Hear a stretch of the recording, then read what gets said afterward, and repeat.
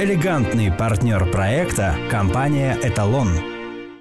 Добрый вечер. Слабое место есть у каждого. Найди его, и самая сложная партия будет выиграна на раз. Сегодня для вас тибетская сказка «Обезьяна и шахматы». Устраивайтесь поудобнее.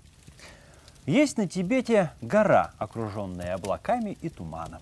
Вздымается она до самого неба, растет на той горе могучее тысячелетнее дерево, и ежедневно прилетали туда, оседлав ветер, двое небожителей.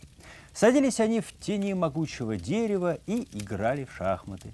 Их занятие привлекло внимание одной обезьяны из дремучей чащи. Умирая от любопытства, она тихонько подкралась к дереву, спряталась в густой листве и стала подглядывать за искусством святых. Шел день за днем, сообразительная обезьяна постигла мудреные правила игры в шахматы и проникла в магию ходов. Вскоре про небожителей прослышали люди и пожелали узреть собственными глазами такое чудо. Однако святые постарались избежать мирской суеты и исчезли до появления людей. И вот тут-то обезьяна, распираемая желанием покрасоваться своим умением, спустилась с дерева и предложила людям сразиться в шахматы с ней. Она играла так мастерски, что не нашлось никого, кто мог бы победить ее.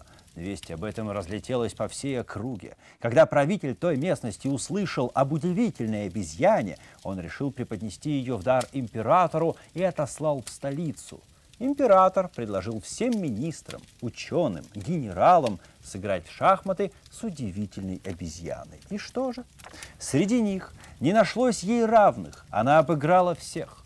Императора этот факт раззадорил еще больше, и он объявил по всей стране, кто победит обезьяну, тот получит в награду столько золота, сколько сможет унести.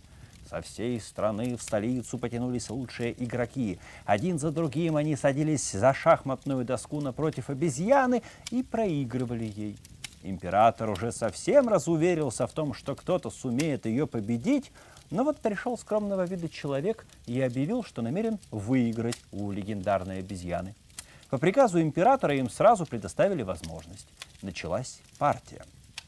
Человек сделал ход и, достав из кармана очень аппетитный банан, начал неспешно его есть. Обезьяна стала играть рассеянно, то и дело поглядывая на своего соперника. А когда тот достал из кармана сочный золотистый персик и надкусил его, она аж задрожала от желания. И таким образом, одну за другой, обезьяна проиграла человеку три партии. Итак, вывод первый. Вступая в игру, не надейся на слабость соперника и не доверяй первому впечатлению. Обезьяна смогла обыграть в шахматы практически всех в империи, хотя казалось бы. Вывод второй. Обучиться можно абсолютно всему, даже обезьяне, особенно если твоими учителями являются настоящие боги в своем деле. Вывод третий, и, увы, самый грустный.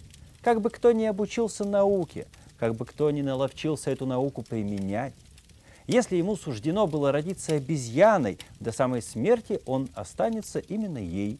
А значит, смело вступайте с такими в игру. Только не забудьте запастись персиками послаще. Спокойной ночи.